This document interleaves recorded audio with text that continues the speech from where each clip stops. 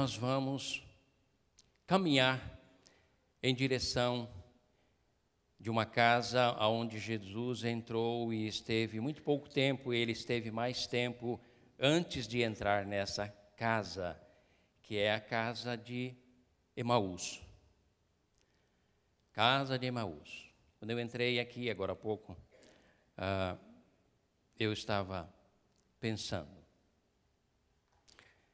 qual, qual deve ser a minha postura de voz qual deve ser a tonalidade da minha voz, qual deve ser a maneira com que eu vou me colocar diante do rebanho do Senhor. E graças a Deus que Deus sempre vem na nossa direção, principalmente eu que estou aprendendo a ser pastor. Né? Sou pastor júnior, sou o mais novinho da, da, da equipe.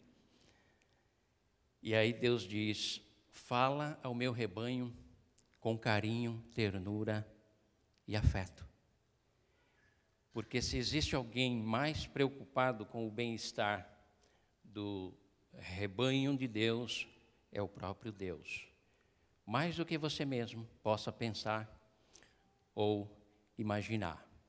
E como a palavra pastor, ela tem um sentido de ternura, de zelo e de cuidado, eu gostaria de falar mansamente ao teu coração, mas acima de tudo, pedir a Deus para que ele estivesse, o Espírito Santo estivesse sussurrando no teu coração de uma maneira branda, serena, mas que acima de tudo causasse um efeito profundo de uma mudança de postura, mudança de vida, mudança de pensamento. Principalmente porque hoje nós vamos tratar um pouco a respeito de o nosso Cristo, ele entra também na casa daqueles que estão decepcionados com Deus. E me parece que hoje nós estamos vivendo essa síndrome. Pessoas que, por um motivo ou outro, têm estado decepcionado ou decepcionada com Deus. Talvez você esteja aqui hoje sentadinho aí, ou você que está nos assistindo pela pela internet. Mas em algum momento da sua vida, você sofreu algo que você é, rotula ou denomina como um ato falho de Deus. E isso então, de repente, pode estar sendo um verdadeiro entrave na sua vida, para o seu progresso, tanto como pessoa, como indivíduo, como filho ou filha de Deus. Trago-lhe uma boa notícia. Jesus Cristo quer entrar na tua casa.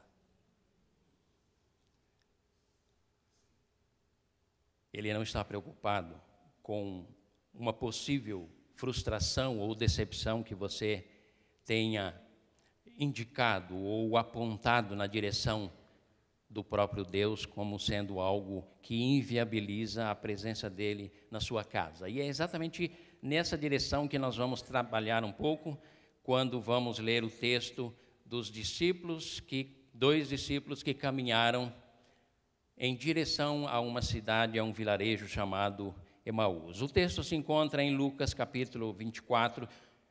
Vou ler apenas o versículo de é, capítulo 24 de 28 a 32, mas o registro dessa história ele se dá no versículo 13 até o 35 para vocês se situarem. Mas eu não vou ler do 13 ao 35. Vou ler apenas do 28 ao 32, quatro versículos. Lucas 24, de 28 a 32. É os discípulos voltando para Emaús, carregando na bagagem uma profunda frustração e decepção com o Cristo, com o Messias, com o próprio, o próprio Deus. E aí nós vamos aprender como que Jesus trata essa questão na minha e na sua vida, porque de repente você veio até aqui hoje e Jesus também marcou esse encontro com você, porque Ele quer estar ao seu lado, Ele quer bater aquele papo agradável com você, Ele quer, quem sabe nessa noite, fazer você sair por aquelas portas com os olhos espirituais mais abertos e o coração e a visão do próprio Deus mais nítida, mais cristalina, e assim você vai viver a exuberância da fé em Cristo Jesus. Lucas 24, de 28 a 32, nos diz assim: Ao se aproximarem do, do povoado para o qual estavam indo, Jesus fez com que ia mais adiante. Mas eles insistiram muito com ele. Fica conosco. Pois a noite já vem e o dia já está quase findando. Então ele, Jesus, entrou para ficar com eles. Quando estava à mesa com eles, tomou o pão, deu graças, partiu-o e deu a eles. Então os olhos deles foram abertos e o reconheceram, e ele desapareceu da vista deles. Perguntaram-se um ao outro: não estava queimando o nosso coração enquanto ele nos falava no caminho e nos expunha as Escrituras? Amém, queridos? Esses quatro versículos são a parte final de uma narrativa, de um, um fato, onde dois, dois discípulos, Cleopas, o nome de um deles, o outro não se sabe o nome, talvez você coloque o teu ou o meu, porque de repente a atitude desses discípulos pode corresponder a um estilo de vida ou uma atitude minha ou sua. Então você pode colocar o seu nome ali, quem sabe. Mas o fato é que esses dois discípulos também não se têm dados precisos a respeito de quem era. Um deles se chamava Cleópatra, o outro não tinha um nome. Deduz-se, acredita-se que talvez eles façam parte daqueles 70 que saíram a pregar o Evangelho, mas fato é que eles tinham proximidade com Jesus. A narrativa do texto, do versículo 13, o mesmo capítulo 24, versículo 13 ao 35, nos conta exatamente a experiência que esses dois discípulos viveram, vivenciaram. Eles estavam em Jerusalém, eles contemplaram a crucificação. Diz, inclusive, que talvez o fato dessa contemplação da crucificação é que tenha produzido neles uma dificuldade em reconhecerem Jesus, porque ao longo do trajeto deles, indo em direção a Emaús, Jesus primeiro se aproxima deles. Isso está do versículo 13 até o 35. E indaga a eles o que, que vocês estão conversando. Então a gente já percebe Jesus Cristo indiferente, vamos dizer assim, ou não levando em conta a, a, as, os questionamentos, o sentimento de frustração, o sentimento até de uma certa decepção, a qual eles esboçam ao longo dos versículos, porque ao se aproximar deles, Jesus pergunta: O que, que vocês estão conversando? E eles dizem: Ora, és tu o único homem que, estando aqui em Jerusalém, não, não sabes, não estás informado dos fatos acontecidos? E Jesus continua dialogando com eles, dizendo: Quais? E eles começam a narrar: Jesus de Nazaré, um homem poder, profeta poderoso em palavras e obras, e que fez grandes maravilhas entre nós. E nós esperávamos, é aí que entra o sentimento de decepção. Visivelmente, aqueles dois discípulos que estavam se dirigindo a Emaús estavam decepcionados, porque eles nutriam no coração uma expectativa de um Messias ao qual era nutrido por toda a nação de Israel. Um Messias libertador, um Messias que traria liberdade do Império Romano, um Messias que traria um, um, um, apogeu, um crescimento, uma grandeza, uma glória para a nação de Israel. Mesmo eles seguindo Jesus Cristo ao longo da vida deles, mas erroneamente, eles desenvolveram nas suas mentes uma leitura, uma percepção, um entendimento incorreto da pessoa de Cristo Jesus.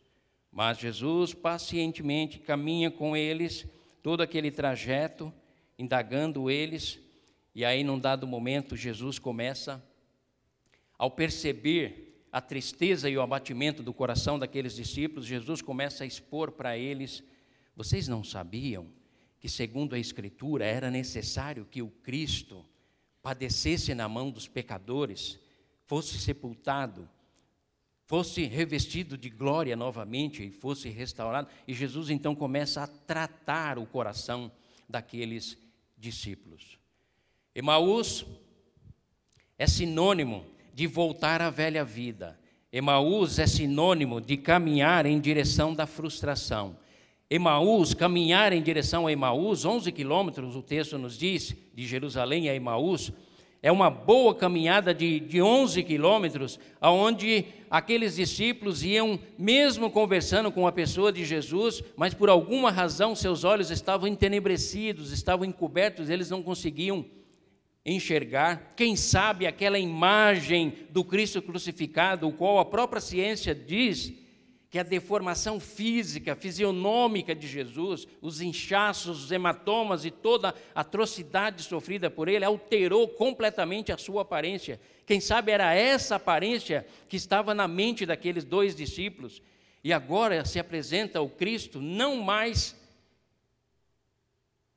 sacrificado, mas o Cristo ressurreto. E o Cristo ressurreto, ele não ainda havia sido coberto preenchido com a sua glória total e absoluta, mas já estava com seu corpo glorificado parcialmente. A glorificação se dá na totalidade quando ele ascende aos céus em Atos 1, 8, quando ele sobe aos céus lá diante dos seus discípulos. Mas fato é que, e aí eu e você precisamos pensar e nos perguntar: qual a imagem, qual a visão, qual a percepção que eu e você temos do Cristo de Deus ou do próprio Deus. Você é o que você crê. Cada um de nós somos o que cremos. Cada um de nós vivemos, adoramos a Deus, nos dedicamos e nos consagramos a Deus, louvamos e bendizemos o, o, nome dEle de acordo com a ótica com que olhamos a Deus. Muitos de nós, com uma visão incorreta ou inadequada, como estavam esses dois discípulos, a, a, acumulamos nas nossas mentes e corações uma visão e um entendimento completamente equivocado, tanto a respeito do Cristo de Deus, como do próprio Deus Todo-Poderoso, como do próprio Espírito Santo de Deus. É por isso que eu gosto de literaturas que nos apontam que a doutrina sã, saudável, é fundamental para se construir um ensinamento saudável, correto, bíblico, é imprescindível para se construir uma vida saudável, uma vida abundante, tanto no psique, na mente, como nas emoções, como na espiritualidade. E esta vida saudável passa pela visão e a compreensão que nós temos do Cristo. Uma pergunta que eu posso fazer tanto para mim quanto para você. Qual é a visão que você tem da pessoa de Cristo Jesus? Esses dois homens, por causa da visão incorreta, eles estavam abatidos, entristecidos, frustrados e decepcionados com Deus. Nós que esperávamos que ele redimisse Israel. Amada igreja, o século 21, nosso século ao qual nós, nós estamos vivendo, ele tem sido muito marcado, muito, muito pontuado na vida dos filhos e filhas de Deus por decepções, frustrações, decepções e frustrações. E muitos de nós nos tornamos desigrejados, nos tornamos afastados de Deus, nos tornamos alienados de compromissos na vida espiritual Quantas vezes isso está vinculado a uma frustração que experimentamos, a uma decepção que acumulamos na nossa vida, mas não temos a coragem de dizer a Deus, mas guardamos no nosso coração.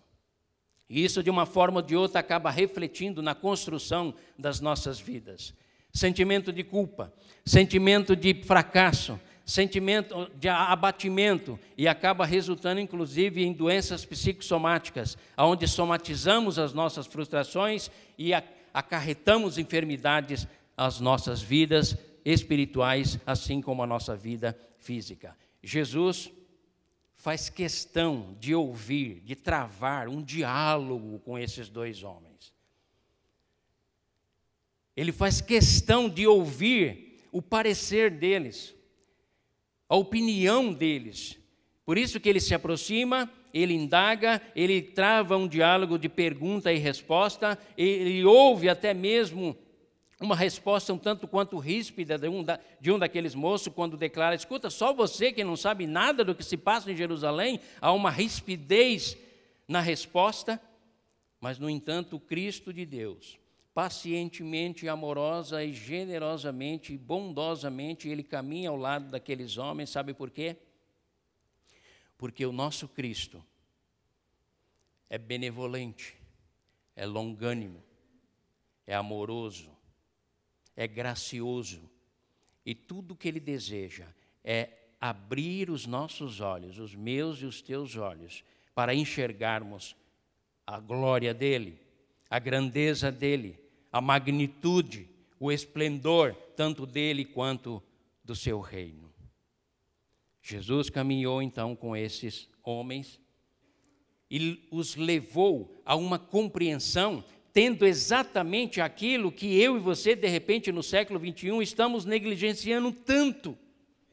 E por conta disso, há um Deus distorcido no nosso olhar. Há uma imagem empalidecida, opaca, sem brilho no nosso horizonte, porque a fonte da luz, a qual Jesus se utiliza como meio para trazer luz e lucidez àqueles dois discípulos decepcionados com Deus, é a sua palavra. Abre-se a palavra. E o texto diz que Jesus expõe a eles as Escrituras, os profetas, para abrir os olhos daqueles homens.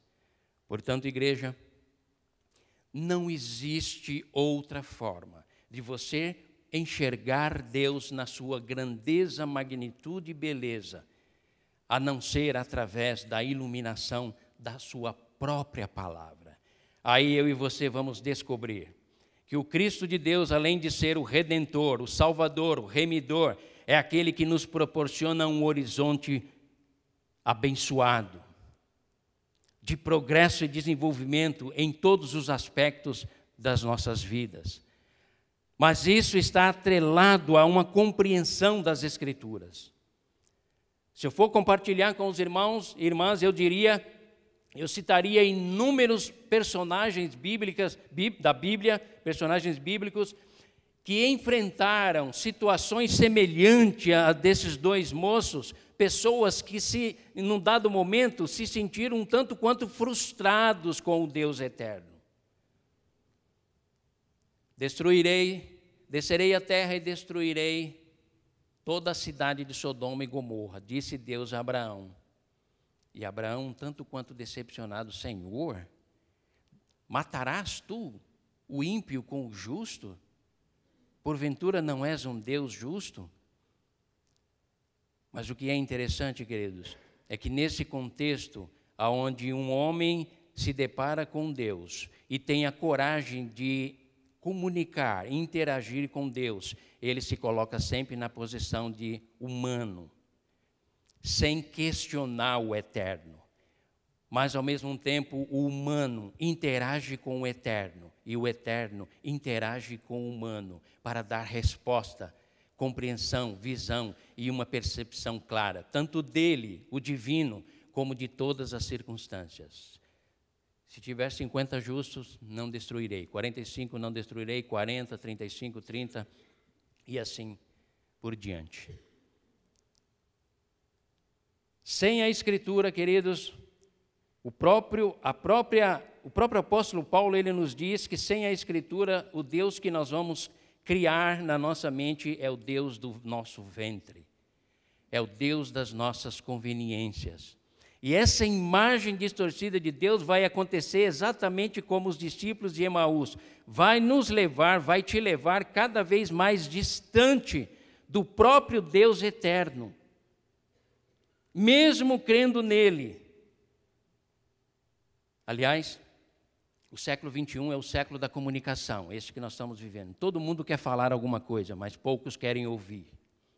Todo mundo quer ir para as redes sociais e dar as suas opiniões, mas poucos querem ir para a quietude e a solitude de uma alma reclusa e dizer: Senhor, fala ao coração do teu filho, da tua filha, porque eu quero te adorar na beleza da tua santidade. Eu quero compreender qual a grandeza do Cristo de Deus. Eu quero, eu gostaria muito, Senhor, de compreender aquilo que Paulo diz, que nele estão escondidos todos os tesouros da ciência, do conhecimento, da sabedoria, da glória. Senhor, Ajude-me a sair da esfera da religiosidade, porque de repente eu estou exatamente naquele contexto dos discípulos de Emaús, enxergando-te de maneira distorcida. E isso tem me feito caminhar para Emaús.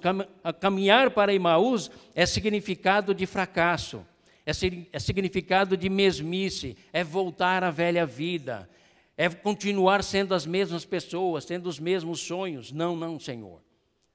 Ajude-me a compreender melhor quem tu és. Poderíamos citar homens como Moisés, como Davi, homens que tiveram experiências com Deus. O, o próprio livro de Hebreus nos aponta como sendo a galeria daqueles personagens, o qual, estando nós, Hebreus capítulo 12, rodeado de tão grande nuvens de testemunha, Deixemos todo o embaraço e o pecado que tão de perto nos rodeia e corramos para a carreira que nos está proposta, olhando fixamente para Ele, Jesus, autor e consumador da fé. Ah, oh, queridos, isso é fabuloso. Isso faz toda a diferença na minha e na sua vida. Porque aí, ao invés de ir para Irmaús, que é o caminho da decepção, é o caminho daqueles que se sentiram frustrados por Deus, é o caminho daqueles que não compreenderam a lógica de Deus, não compreenderam que os meus pensamentos, diz o Senhor, não são os vossos pensamentos, os meus caminhos, diz o Senhor, não são os vossos caminhos. Porque assim como, assim como o céu está acima da terra, os meus caminhos e os meus pensamentos estão muito acima dos vossos caminhos. Mas para você compreender os meus caminhos e compreender a minha pessoa, você precisa não caminhar em direção a Emaús, mas caminhar em direção do Cristo ressurreto e voltar para Jerusalém. Porque quando Jesus entra na casa desses homens, mesmo com toda essa derrocada nos sentimentos e na visão deles em relação a Cristo, no partir do pão, no compartilhar na mesa, da ceia do Senhor, na identidade que Cristo tinha. E era uma identidade impactante. Não era a identidade do cristão do século 21, que é forjada em cima de jargões, de positivismo, de palavras decoradas, de teologia construída na racionalidade. Não, não. A característica de Jesus era muito definida e muito clara era no partir do pão. Essa era a marca registrada dele. Por isso que quando ele parte o pão para compartilhar, caiu a ficha, deu um estalo no coração e nos olhos daqueles homens, e eles dizem, e eles disseram: quando ele partiu o pão, nós reconhecemos, nossos olhos foram abertos, é o Cristo. É verdade, as mulheres foram lá e disseram que o túmulo estava vazio. Mas nós, por causa da dificuldade de compreendermos o plano e a lógica de Deus, nós rotulamos elas como loucas. Elas já haviam nos dito, mas agora não é à toa que no caminho, quando ele expunha as Escrituras, o nosso coração se aquecia. Havia algo que impactava, incomodava aqui dentro do meu ser, quando ele compartilhava as Escrituras, ou seja, no compartilhar das Escrituras, os olhos, os sentimentos e a espiritualidade daqueles dois homens estava sendo restaurado, tratado. É por isso que eu gosto sempre da ideia de que igreja também é um lugar terapêutico, onde Deus trata conosco, onde Deus trabalha com as nossas fraquezas, trabalha com as nossas limitações e acima de tudo, o Deus eterno tem o desejo de ampliar a nossa visão a respeito dele próprio. Amada igreja, pessoas decepcionadas, segundo a, a própria ciência terapêutica, os, os psicoterapeutas, os que cuidam dos seres humanos nas suas emoções, eles dizem que uma das, um dos maiores flagelos das emoções de uma pessoa é ele viver ou sofrer grandes decepções. Você precisa tratar direitinho isso. É um pai que cria um filho e depois aquele filho abandona a fé, abandona tudo, e isso cria uma profunda decepção, uma marca muito forte. É um trabalhador ou uma trabalhadora que se dedica a uma empresa, durante um longo tempo e de repente é descartado como um simples papel amassado e joga-se na lata do lixo. E isso então cria uma série de sentimentos ruins, mas não apenas no aspecto humano, na nossa espiritualidade também. Quando nós muitas vezes não sabemos lidar com a quietude de Deus, com o silêncio de Deus, e nós, homens e mulheres do século 21, que agora não queremos nem dirigir os nossos automóveis, basta apertar um botão e ele chega à nossa porta e nos conduz. Não precisa levantar mais vidro, não precisa fazer movimento nenhum. A comodidade, o conforto, a facilidade tem produzido seres humanos frágeis, egocêntricos, antropocêntricos, voltados para si próprios. Isso é antagônico ao Evangelho. Isso é antagônico à proposta do próprio Cristo. E nessa ótica, eu e você vamos olhar também para Deus como aquele que trabalha para mim. Cantamos a verdade que Deus trabalha para aqueles que o amam. E é uma verdade bíblica mas não que ele tenha necessidade de autenticar a sua santidade, a sua glória e a sua divindade ao servir seres humanos. Isso eram os deuses gregos. Os deuses gregos é que assim o faziam. O Deus Todo-Poderoso estende a sua graça e a sua bondade porque ele tem prazer em abençoar os seus filhos, mas não para autenticar a si próprio, nem para comprovar quem ele é, nem para provar a ninguém absolutamente nada.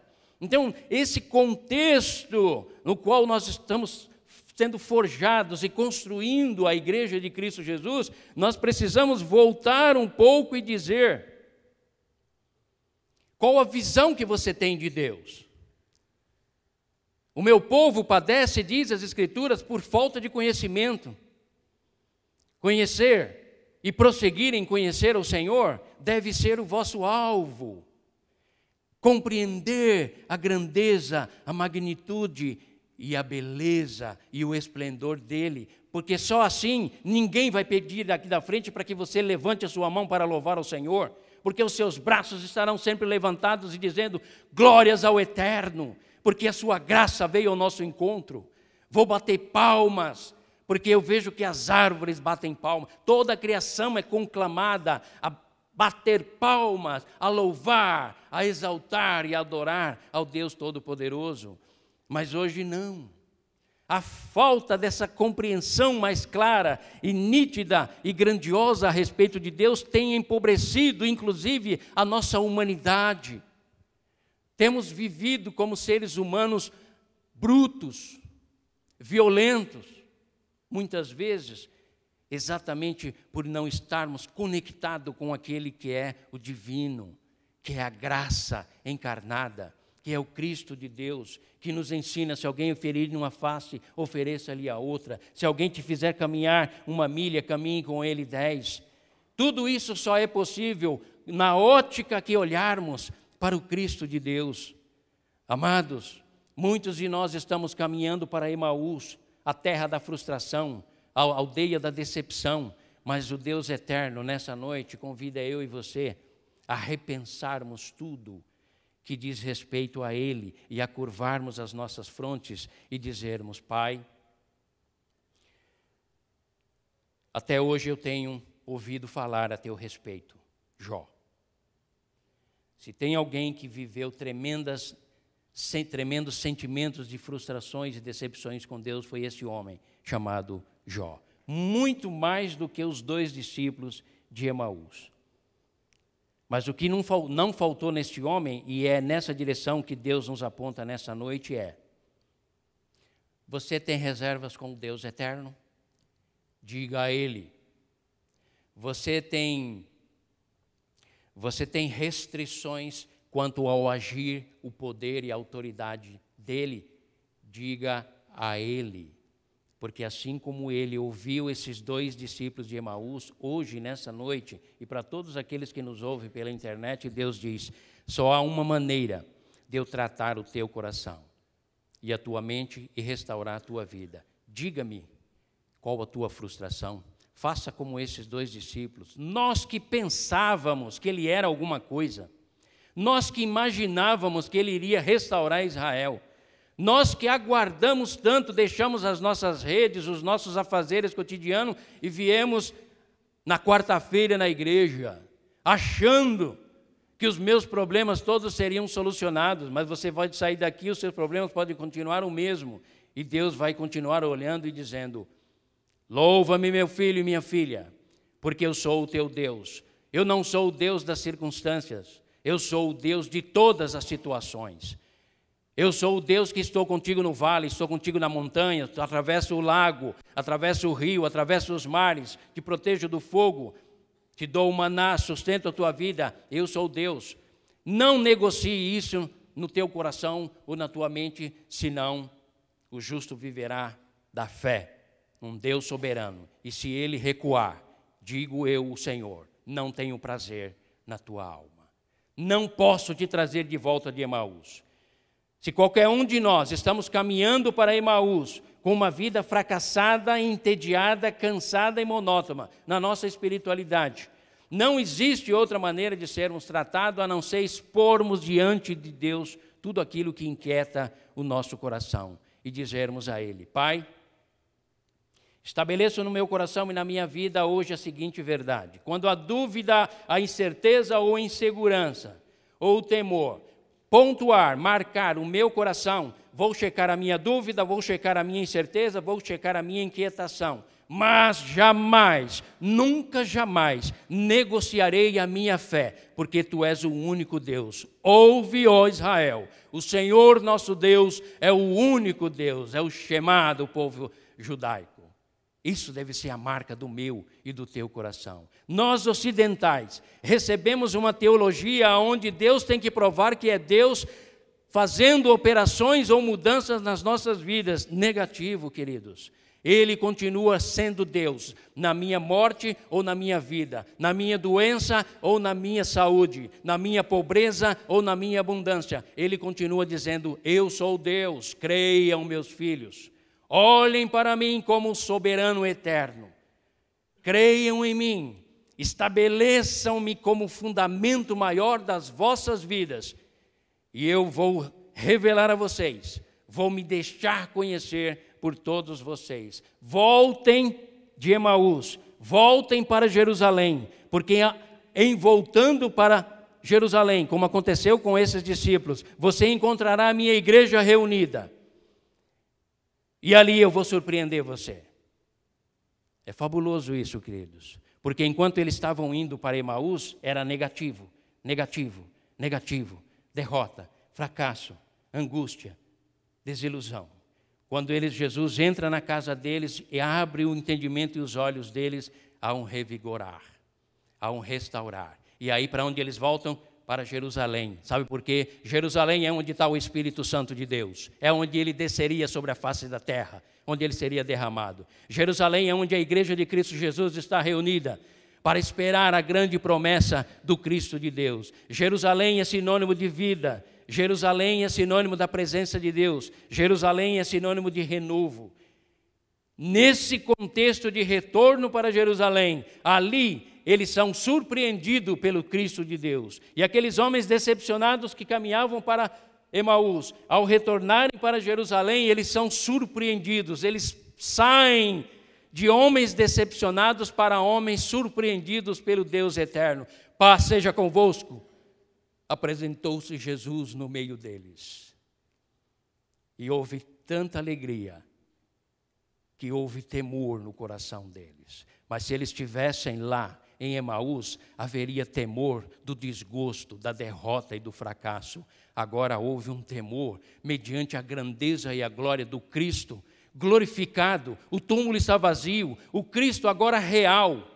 Não apenas o túmulo está vazio, mas agora ele se apresenta vivo, com provas incontestáveis. Ele atravessa a matéria das paredes, porque o seu corpo não está mais condicionado ao tempo e ao espaço, ao cronos, muito embora ele ainda ascenderia aos céus e seria coroado com toda a sua glória e o seu resplendor, mas mesmo em parte sendo glorificado, ele se apresenta no meio deles e aqueles dois derrotados de Emaús agora experimentam, recebem da parte do Cristo a surpresa: paz seja convosco, meus discípulos queridos. Acredite, meu povo, eu vivo.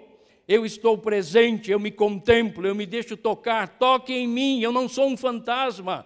Eu sou real. Eu sou verdade. Eu sou vida. Eu sou o Deus eterno. Saem pelo mundo preguem este evangelho, mas não apenas preguem este evangelho, estabeleçam este evangelho no âmago da vossa alma, do vosso coração e vivam em função deste evangelho, porque se você não viver, vocês não viverem em função deste evangelho e desta verdade gloriosa do Cristo real, vocês caminharão para Emaús. Voltem de Emaús, igreja queridas. Voltem de Emaús. Se a tua vida tem sido de decepção em decepção, se você tem orado a Deus e acha que as coisas não têm acontecido, e você tem dito, por que eu, Senhor? Mude a sua pergunta, mude a sua palavra e diga, para quê, Senhor? Qual o objetivo disso? Pai, amplie a minha visão da tua própria pessoa, faça-me entender e compreender a magnitude, a grandeza e a glória do teu ser. Mostra-me as minhas limitações, Senhor, porque eu quero andar diante da tua presença com o rosto em terra, porque é com o rosto em terra e os joelhos no chão que o Senhor é adorado e exaltado e entronizado como soberano. Pai, se em algum momento eu tenho me queixado, da minha vida, aquilo que cerca as circunstâncias da minha vida, se em algum momento eu tenho achado ou imaginado que eu sou o centro do universo, muda isso no meu coração, transforma, Senhor, a minha mente e a minha alma, sabe por quê? Compreender quem Tu és, Senhor, é algo mais valioso do que qualquer possibilidade humana. Enxergar a tua glória e a tua beleza, compreender os teus planos e os teus propósitos, traz sentido e razão de ser para a minha própria existência. Pai eterno, eu estou cansado de ir e vir aos cultos da minha igreja, e isso tem sido um ato litúrgico e religioso. Eu preciso, Pai, ouvir a tua voz, eu preciso compreender quem tu és porque mesmo sendo alguém que declara e professa fé em Cristo Jesus, muitas vezes eu me sinto caminhando para Emaús, de, de, vivendo de decepção em decepção, de frustrações em frustrações. Se tu dissestes na tua palavra, eu vim para que tenham vida e vida em abundância, Pai, não quero menos do que isso, quero uma vida abundante. Eu sei que a vida abundante está em olhar para o Senhor e compreender quem tu és. E quando eu não compreender, eu me manterei firme ali na brecha da oração e da adoração, e eu direi: Pai, os ventos estão fortes, as circunstâncias estão terrivelmente contrárias, mas não, eu não arredo o pé nem para a direita e nem para a esquerda, eu me mantenho firme aqui, dizendo: Tu és Deus e soberano, acima de toda e qualquer circunstância porque o Senhor estabeleceu a tua verdade na minha alma. O meu passado foi lavado no sangue do Cordeiro, o meu futuro foi descortinado por Ele, o meu presente está diante da presença dEle. Pai eterno, não quero caminhar para Emaús. Fica comigo. Apesar de mim, fica comigo. Entra na minha casa. Entra na minha vida. Eu quero renovar o meu pacto, a minha aliança com o Senhor. Sabe, Pai?